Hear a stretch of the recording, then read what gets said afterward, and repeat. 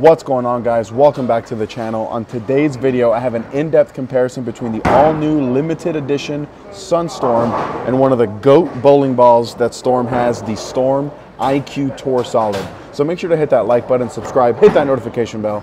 And if you like this jersey or any of the jerseys in any of my videos, coolwick.com and use my promo code NAPOLES10. That'll get you 10% off your entire order. And then down below in the description, there's be a link where you can order anything bowling related.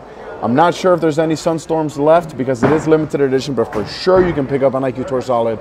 And that's one of the best ways to help support the channel. All right, so when I reviewed the Sunstorm, a lot of people asked how is it going to compare to the IQ Tour Solid because they share the same core.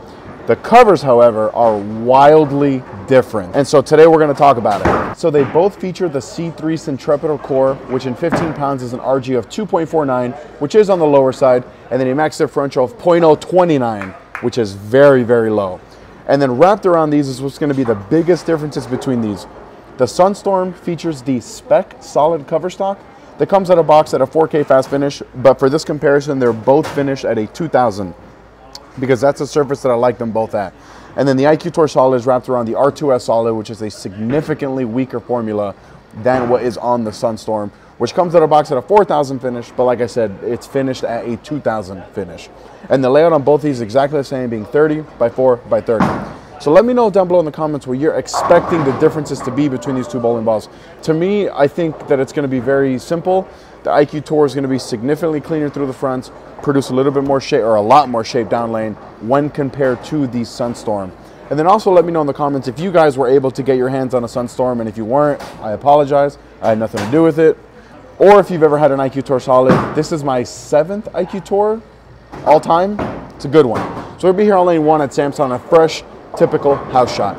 I'll see you guys on the lanes. All right, first shot of the video here, we're gonna start in the trusty old IQ Tour Solid establish a little bit of a baseline.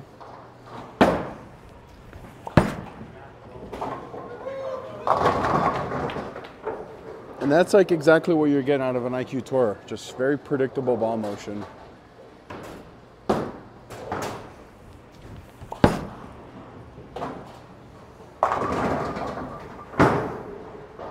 Yeah, I'm already predicting that I'm going to get way further left with this one than the Sunstorm, just because of that weaker cleaner, quicker cover.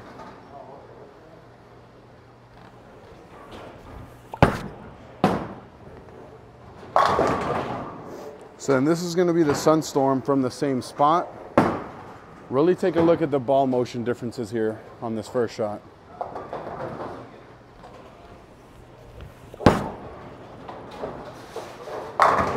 Missed right, but it's way smoother than the IQ Tour. I'm telling you right now, there's gonna be a lot of strikes in this video. Uh, low RG, low differential, smoother balls just strike a lot here at Samstown.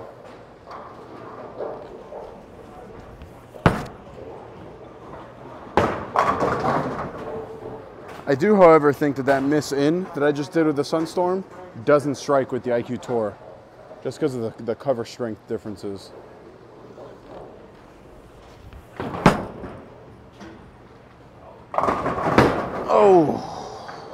Right, back in the IQ Tour. I'm gonna start creeping left with it already. Sunstorm, I think I'm gonna stay a little straighter.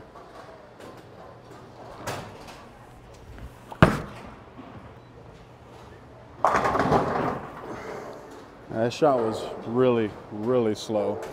Let's firm up here.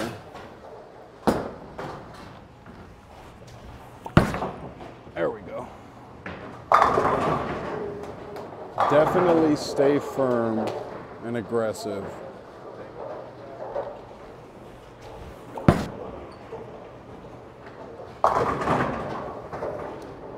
All right, back in the Sunstorm. Just for the sake of the comparison, first shot, I'm gonna go right to where I was with the IQ Tour, and then I'll move right.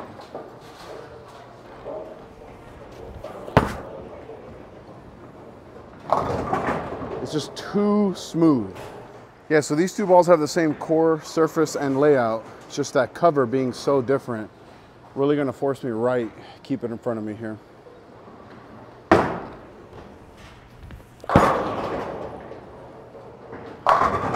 There we go. Yeah, for me, for me, this Sunstorm is gonna end up being like a sports shot only ball, nationals, shorter pattern, stuff like that.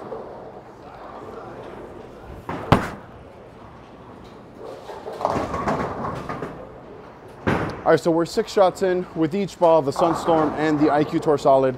This is a prime example of what actually touches the lane is the cover, not the core. So even though these cores are the same and the layouts are the same, and even the surface is the same, the materials, the formulas in these two bowling balls are making them wildly different. The IQ Tour, I can feel like I can get as far left as I want to or need to really, and it's gonna come around the corner, it's gonna go through the pins, where the Sunstorm is really forcing me to stay straight, which again, is not a bad thing. It's just one of those situations where the Sunstorm, for me, isn't really going to be a house shot kind of ball. It's gonna be a ball that I'm gonna save for nationals. I think it's gonna be a great option on the fresh, or anytime I'm bowling on something short where urethane really isn't in play.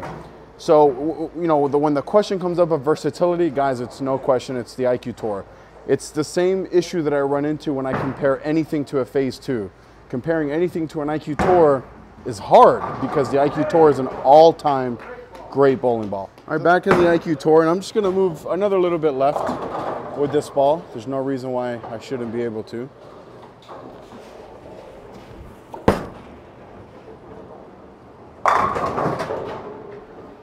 The ball motion of these are night and day, literally.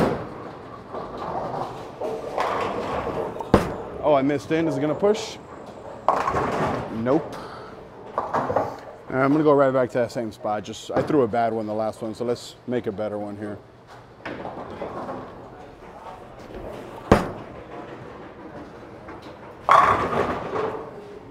All right, back in the Sunstorm.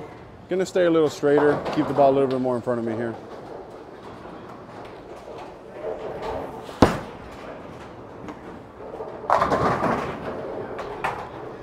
See, I definitely feel like the Sunstorm is way more situational than the IQ Tour.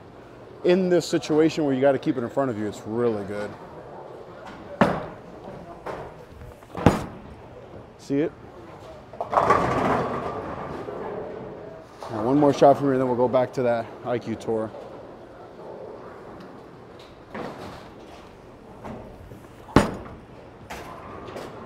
Oh, I knew that flat 10 was coming. All right, back in the IQ Tour, and then we're gonna stay shaping this one for sure.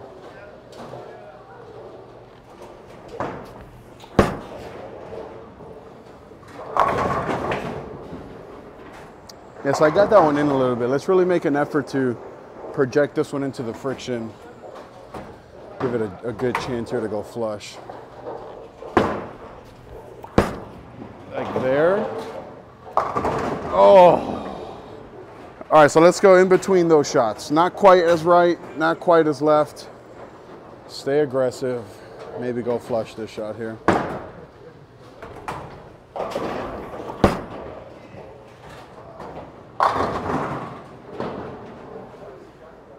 All right, back into the Sunstorm. That 10 pin was kind of brutal.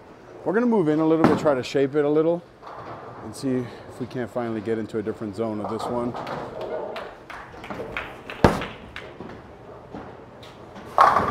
There we go. Yeah, like when I think of the Sunstorm, it's just like the ultimate control ball.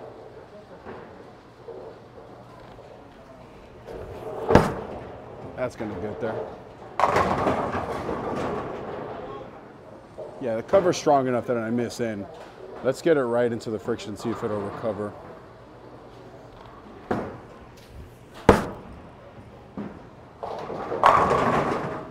All right, so as the lanes are transitioning, you're noticing that I'm able to get further left quicker with the IQ Tour versus the Sunstorm.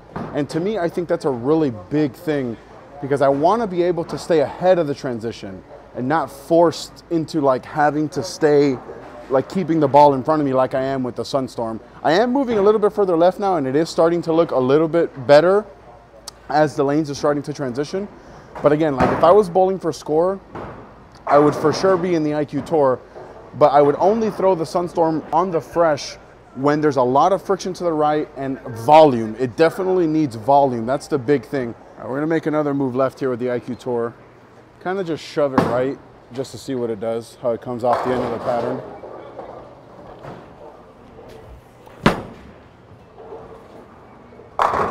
Yeah, there we go. Yeah, I mean, I've, I've moved left basically every group of shots with the IQ Tour, and it's still going through the pins.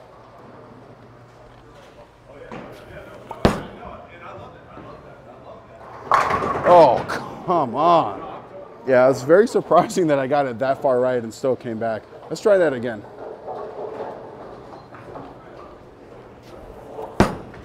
Not as far right. Still see it. All right, so this is the Sunstorm, just for the sake of comparison, from the same spot that I just struck at with the IQ Tour.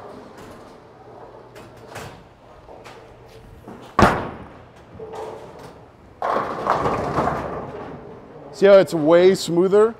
And like where the IQ Tour went dead flush? Yes, I'll, I'll stay there for another couple shots. But the big difference is that motion, how the Sunstorm went super light and the IQ Tour just went dead flush. Let's try that again.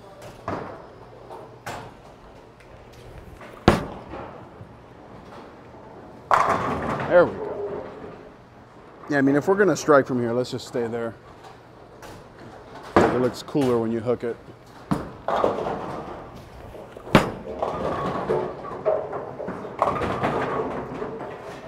That doesn't look cool though. All right, back in the IQ Tour. Gonna inch left a little bit here again.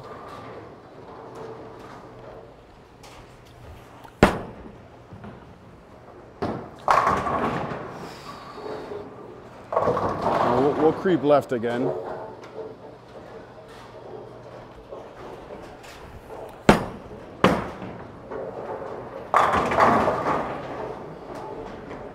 right, last shot with the IQ Tour. We're gonna move left again. Hopefully end on a good note from this far left. Fell off, see it? We'll take that garbage. All right, now into the Sunstorm. And if it doesn't look good from this far left, I'll move right.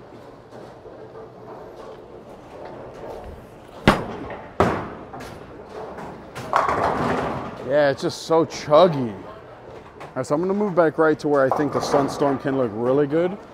This should be from a little bit straighter, getting it into the friction a little sooner.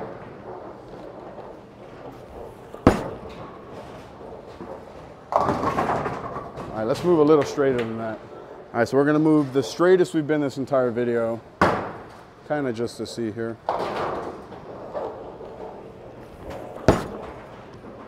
There we go. 10 back. Oh yeah, I gotta do that one more time because that was impressive how good that looked. Let's try it again. Same spot.